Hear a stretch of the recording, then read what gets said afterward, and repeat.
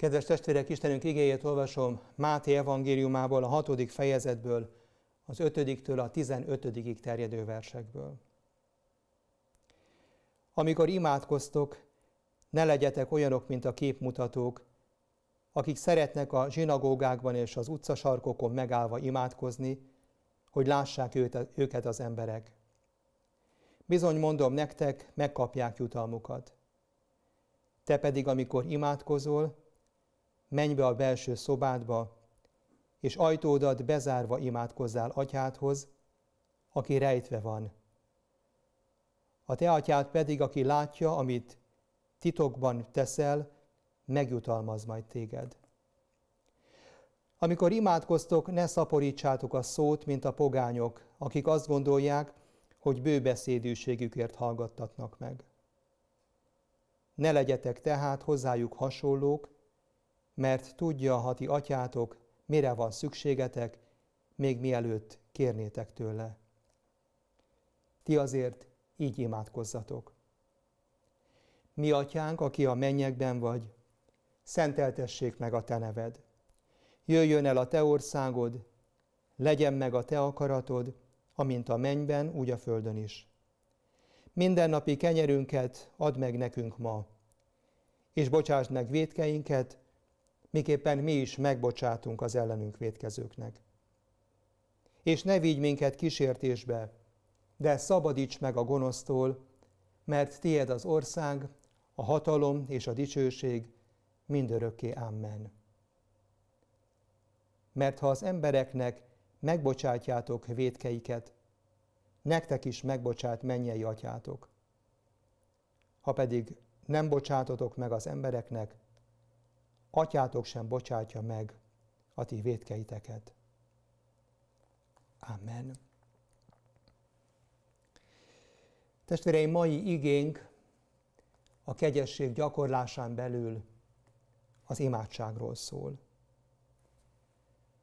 Családunkban mindig szeretettel és meghatottsággal olvassuk feleségem nagyapjának hadifogságból írt levelező lapjait.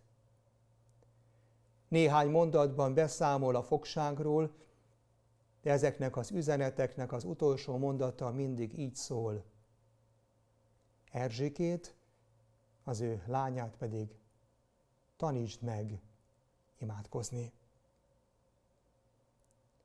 A fogságból szóló üzenet ez volt a nem látott gyermek felé. Tanítsd meg őt imádkozni. Sokszor a konfirmáció oktatásban vesszük észre, hogy a hozzánk járó gyermekek nem ismerik az esti imádságot, a reggeliről nem is hallottak, és az asztalhoz is imádság nélkül ülnek le. Nem egyszer, az Úri imádság szavaira is nekünk kell megtanítani őket.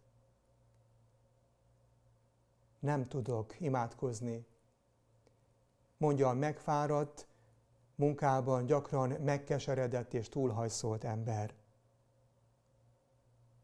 Régen imádkoztam, mondta az a gyászoló, aki miután szerettéről szólt a temetés előtt, várta, hogy imádságban forduljunk hozzá.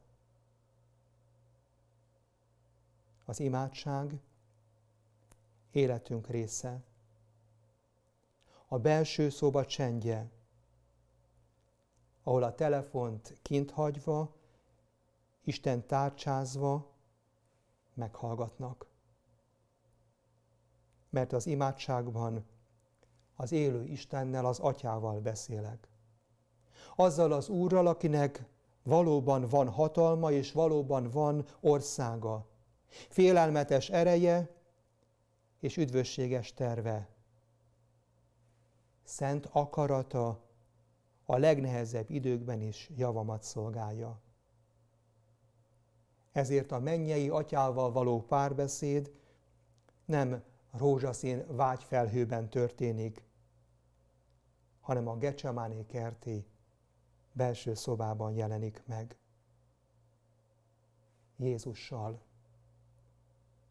aki elfogadta atyának akaratát, aki belesimult az ő kezébe.